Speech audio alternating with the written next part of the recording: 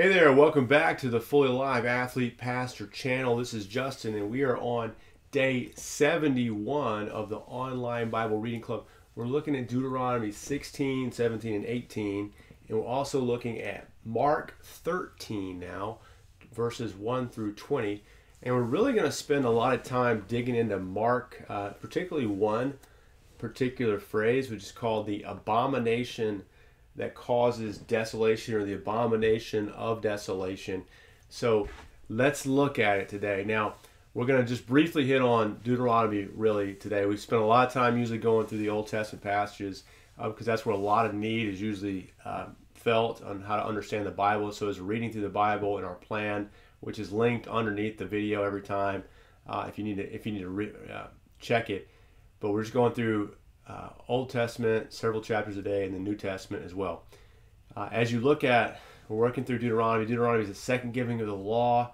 The people have journeyed from slavery in Egypt, been set free through God's miraculous uh, work at the Red Sea. Uh, Moses has led them for 40 years through the wilderness in a journey that should not have taken that long at all. I mean, we're talking two weeks max, and it's a millions of people out there, and they've been counted again. Uh, they've they've really lost almost nobody uh, in the journey, but they've lost everybody. Uh, they have seen everyone die in uh, the older generation due to curses, but the new generation has replaced them, and they are going to need to know what it is to be holy as God is holy. So in this chapter we look at 16, it talks about the big three festivals, which uh, the chief of which is Passover, of course, which I'm just referring to, the Red Sea crossing. Passover instituted to celebrate how God's wrath passed over them. Why did God's wrath pass over them uh, in Egypt? And the uh, plague of the firstborn son only touched those who were not covered in the blood. Well, because God made a promise to Abraham to give his people uh, a land and to bring them into this promised land and make them a, a, blessing to the nations. And so, this is what he promised to do. It's his covenant promise, uh, and that's why uh, you can place blood on a door and they're passed over. The wrath of God's passed over. It's not because they put blood on a door. Ultimately, it's because God is faithful to his promise. That blood did not save them. You know what saves them? the blood of the covenant redeemer, the actual blood of the covenant redeemer. And that's Jesus. And how do we see Jesus in the Old Testament? One of the ways we see him in the Old Testament is through the tri offices, the, the three offices of prophets, priests, and kings. Those are the three big leadership offices in the Old Covenant. And you see that Jesus embodies all three of those offices in one person. There's nobody in the Old Testament that embodied all three offices of the Redeemer. Melchizedek, who we saw in Genesis, uh, is a kind of uh, mysterious figure, but he was both a king and a priest, though not in the nation of Israel proper. And as you see, uh, one man was going to be uh, the mediator between God and man, Jesus Christ, who would be without sin, uh, a priest who did not need to atone for his own sins, Jesus Christ. Uh, and you see the, the, the, regulations about the Levites and how they're going to be in the text we see today. Uh, the Levites would be caring for the temple and tabernacle, etc. And they would be governing the sacrifices and whatnot and taking care of all that stuff. But Jesus is going to uh, fulfill all those things in his sacrificial death. You see, as he dies and breathes his last, uh, there's a great disturbance of the heavens and also the veil of the temple that separates the holy of holies from the holy places and the and the, the common areas of the temple is torn into from the top down symbolizing our access to God. So we don't need a priest to go before us. We don't need a mediator. We need to pray through any kind of priest. We go directly to the throne priest is fulfilled in Christ. Also, the king. The king was to be underneath the word of God. Now, you got to note that the kings are going to have all kind of rights, but they are limited in their rights. They're going to be the the shepherd of the people. They're going to uh, care for the people underneath them, right? And ultimately, that's going to be seen in, in Saul and David and Solomon and so on and so forth. Well, none of them were perfect. None of them were, were truly embodying this. None of them were totally underneath God's word. And the king that was going to be under God's word is going to be Jesus. He's going to come and say, Hey, I came to do only my Father's will. I came to do exactly what He told me to do. I am listening to Him. I do what He says. This is the true king, the one who lays down his life for his people to care for them underneath God's word, not to take glory for himself. Satan tempted him with the kingdom without suffering uh, in the in, uh, in the wilderness in Matthew 4. Unlike the, the Israelite kings, Jesus passed the test. Then you think about the prophets, and you're going to see that uh, in this text uh, before Deuteronomy, the people are going to go into the land and they're going to hear from they're going to hear of cities where everyone's into this astrology and, and sorcery and and all the necromancy and and listening to the to the spirits. And uh, th- this is something that they're not to engage in.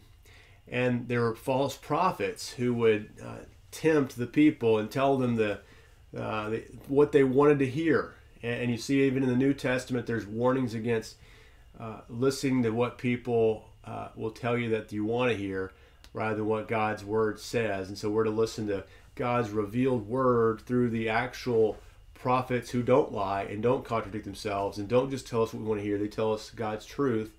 And uh, ultimately, the prophets could not uh, reveal uh, the will of God in all its fullness until Christ came. The last prophet before Christ was John the Baptist, and he was preparatory, saying, Here's the one to come, and the one who will make God's will known to us ultimately is Jesus Christ. The prophets saw uh, not the whole picture, they brought part of it.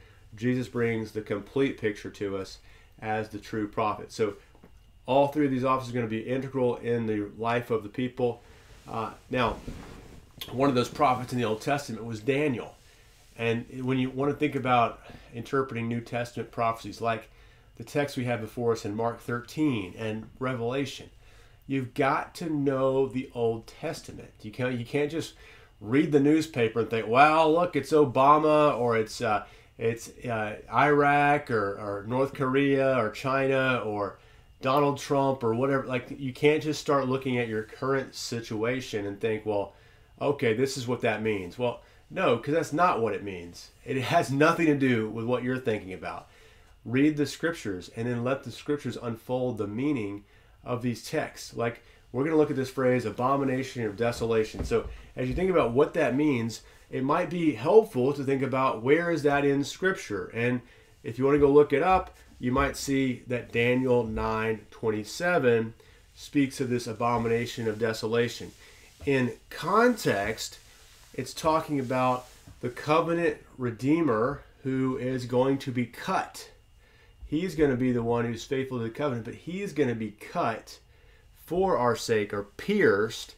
And with that, it says that Daniel's going to assure uh, us that uh, this would not mean the failure of his mission. When was the Redeemer cut? Ultimately, this is going to be Christ. And that's not the failure of his mission, but that's the accomplishment of his mission.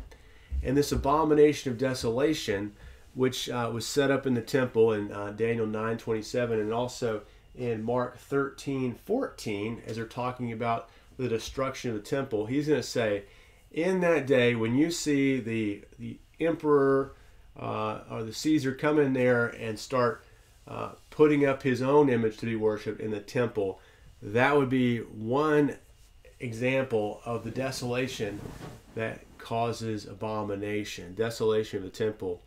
Uh, and that could refer to that by the Romans in 70 AD.